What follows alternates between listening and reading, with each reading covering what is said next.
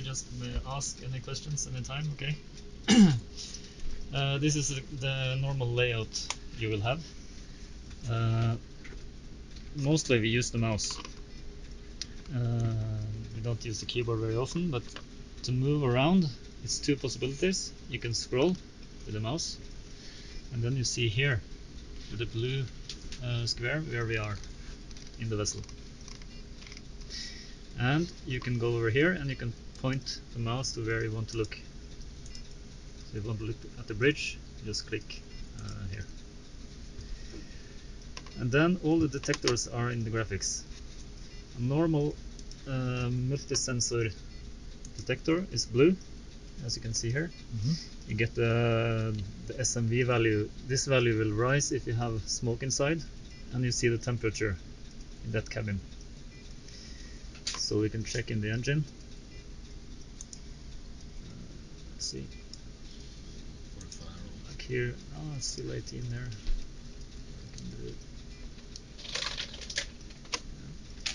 Pretty cold down there. Yes, I saw some spaces. Uh, Maybe auxiliary room. where is that? Um, somewhere here. Yeah, there you see it's 29. Yeah. So you can easily read the temperatures here. And let's say now you have a fire. you can take an example in the cabin. If you have a fire here, the cabin will get uh, red. Also the cabin. Yeah, the whole area here. The Wow. detector and the cabin will get red. And then, if the smoke moves this way, this cabin will get first get yellow. More and more smoke, it will get red in the end. That way, you can see where the smoke. Uh, how The spreading. spreads. Yeah. Which one it's going, yeah. Yeah, But in, uh, you can also see uh, where the f- real fire is, because if it's very hot in here, it will get um, purple. So this So that's cabin. original fire. Yeah, you will see the purple color here. Mhm. That is where the temperature is highest. So that you can go directly to that and uh, Center fire. So that's how uh, it works with fire alarms. Manual call points, they will start to flash red. But all the other smoke detectors, they will start to give a color in the area that they cover. Uh, but still on the car decks, you have old type detectors. They're green. They're normal smoke detectors only, and there is no temperature Mhm. reading uh, here. And also, as you can see here, you have a legend. So here you can see the, the status of the detectors. Smoke detector normal is green, multi is blue in normal status. So pre-warning is orange, alarm is uh, is red. And just now the loop on the bridge here is dis- disabled. That you will see it's gray. Okay? And here you will always have the disable enable window available. You click on that one, you will always see what kind of detectors is disabled. And if you, you like to, uh, we can take, uh, I can show you disabling and enabling now. Let's see. Like this cabin. If you like to disable that cabin, you can right click on the mouse. You get a disable enable menu. Then you get it here. Mhm. And you can um, disable for how long uh, long time you want. So one hour. And press confirm. It changes to gray. Yes. And after one hour now, it will enable by itself. Yeah. But if you like to enable it, you can uh, right click again, disable enable, and it enables immediately. And can I disable one more time immediately? Yeah. Just before disable enable, uh-huh. disables. now it's. Uh, another function here is uh, over here. It's called multi-select. So if you click on multi-select, you can select all those detectors and then disable enable. It will disable all of them okay and same way uh, back again.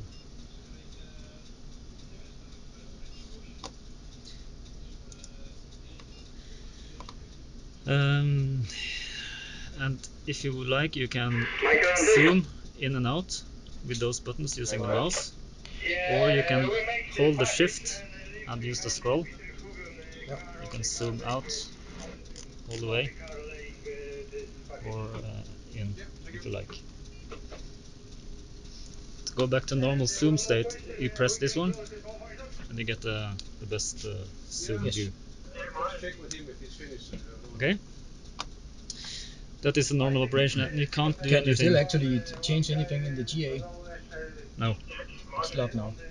Yeah, I can change. Um, Just I just saw this um, these two cabins up here. But anyway, you, you, you get the number when you press it, right? yeah, that's the ID. Uh, you get the number when you press Because it. that's 14, yeah. Because it, it only says Commodore. You need the cabin number. Yeah, but, uh, But it's up there. Up there. to be honest, from the beginning, when we made the GA, we should have removed all the. Uh, yes, the number two. Yeah. Yeah. But now I have done it for all the, the big areas and all the small, but not for the cabins. No, but Yeah. So, um, yeah, but it, it's still okay actually. Yeah. So that is the. Uh, you can't do anything wrong here really. Uh, let's say if you if you do something, uh, this won't be visible when I leave. If something is like this, Yeah. you always have on this menu, you have the reset screen. Wow. I will always good. go back to the normal view. Yeah. And for op- uh, operation, number two, operate. That is the normal uh, state here. Then you can acknowledge and you can reset. So if you're gonna do something else, like configure something, like the electrician, Mhm. you need to go into configure, and then it's a password, which is EL for electrician. So then you put a password and you know. Don't tell you're doing. anybody. but still, to do something, uh, some big changes is four, and that is only for us. So uh, that is. Uh, And the password is? Secret. Especially Carol.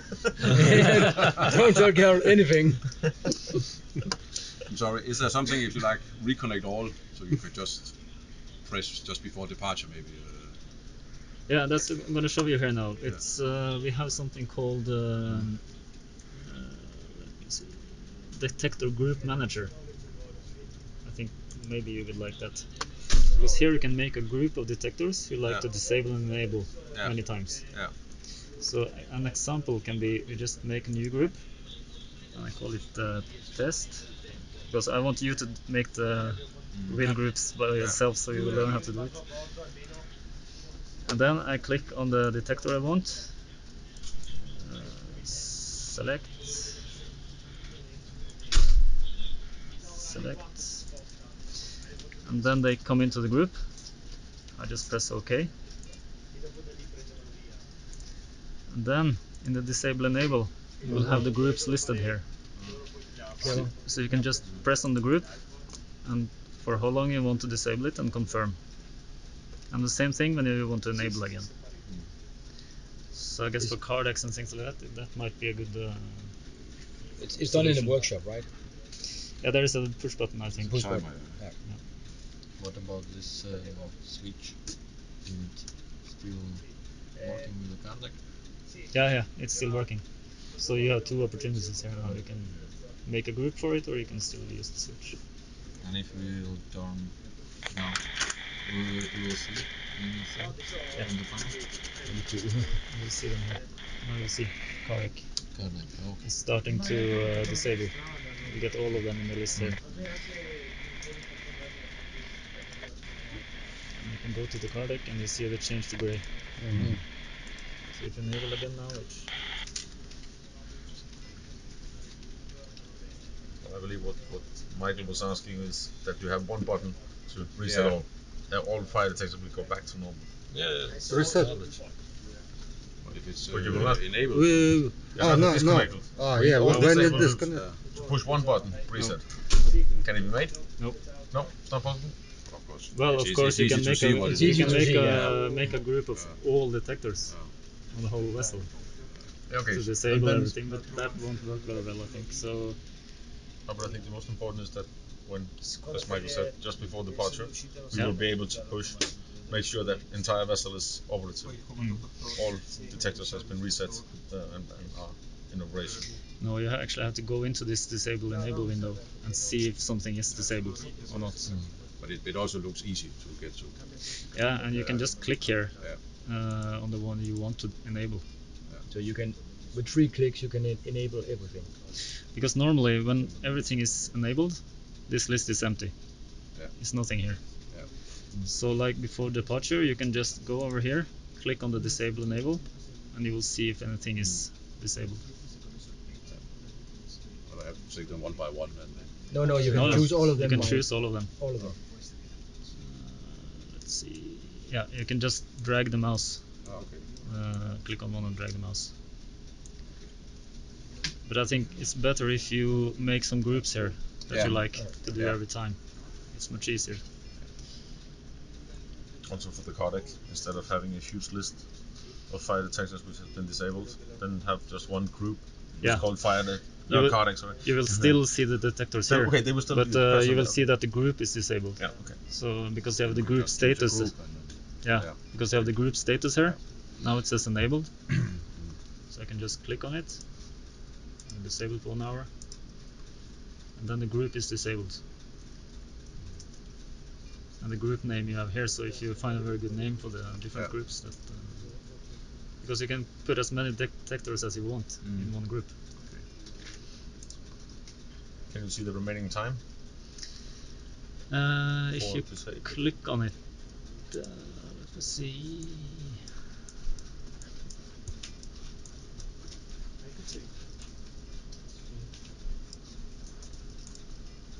Mm, not here. 14, 14. Sorry, uh, Sorry. Ah, sorry. Thank you. Let me see. You should see here. No, you don't see it here. Yeah, enables that is those two. So you don't see it on the group, but you see it here. They will enable at 15, 14. So it's one hour.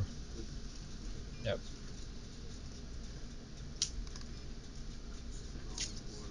So uh, let's see. It's the same thing if I go here and disable this one.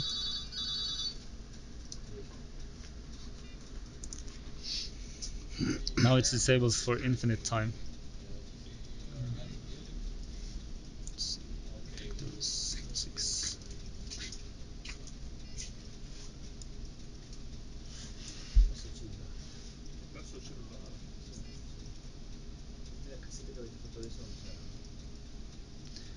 Enables at 16, 15. Yeah. So it's a two hours. So any uh, manual disablement or group disablement, you will see the enable time here in the list. Okay. Yep. Uh, and then you have the history um, possibilities. uh, the report generator. Here you can make a lot of different reports. If, let's say if you go to history, we want to see um, fire alarms for the last 24 hours. Generate report. Then just reset everything so Yeah. it's been no been al- any alarms at the moment. You can make the same thing for disablements.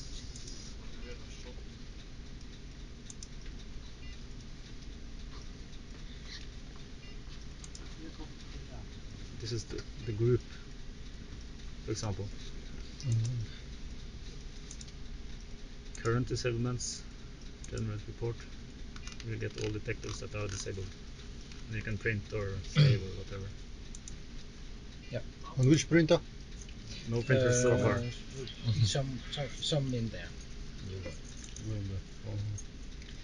So here you can uh, you can uh, make a lot of different reports. So now this is the status right now, all uh, abnormal situation. So loop disabled. You will have everything that is not normal here now, the faults and everything. Can you also make a report of detectors that like need to be changed because the you know the value is getting high or something, Uh, getting dirty, so you can, Yeah, can check them. Uh, Poor condition. yeah. But this system now is a little bit different from the old one. So, uh, well, you know, you see in the cabin. What happens if uh, passenger take down the, the detector? You get a fault message. What message? Yeah, the so- cabin with a flash or only the detector will flash. Yeah. And it also uh, come a text here uh, that the detector is missing. So it's two ways to see it. Is it the, the same kind of alarm that we are used to? Yeah, that's Or my. can, can we uh, erase it a little bit? Yeah, the, it's an alarm on the computer. Yeah. It's been disabled right now. Uh, it's two alarms. It's uh, more like a cowbell. That's a fire alarm. Yeah. And it's a beep. That's uh, the fault. And it will beep there as well. The same Can time. we hear a sample? Because I think it, but compared to the old one, it needs to be. Yeah, to it's be much, higher. be- It's much higher. And you can also. I think it's better you play around with Yes. it because you can't do any big uh, No, no, mistakes. that's more than sufficient. We're happy. I, sorry. Yeah. I also saw here there is opportunity to test from here to send a test signal on our sensor. Test mode. No, it's test mode only. Uh, if you have test mode on and you go and test it, it won't give any alarms. Mhm. Just show up as a alarm here. Ah, so we cannot switch on the LED and the sound from here to the cabin. Uh, yeah, that we can check because you have the cho- uh, choice of LED here. So I can check Yeah, and also LED on and sound. Yeah. and also. I check that. Okay.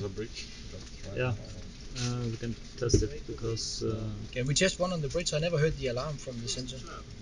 it's disabled right now because there is a Oh, break in the okay, loop. yeah. But, uh, But, uh, on we the- can do somewhere else. In this uh, crew, oh, the passenger cabins uh, when we're testing it's always flashing light and we uh, can hear the sound. But we during the test we have to reset every s- three sensor tested. We have to reset. Otherwise, you will receive alarm, but you will not see any signs of it that it's working. So yeah. Uh, but regarding this testing, I was on the ship. We had this. We could print a test of all detectors. Mhm. Then you could see the value on each one. And then we, we there was this uh, manual who said that between this and this, Was okay. yeah, and then it's exceeded, you had to change it. Now. Yeah, but that's with the, uh, the the old system like here. You could Yeah. do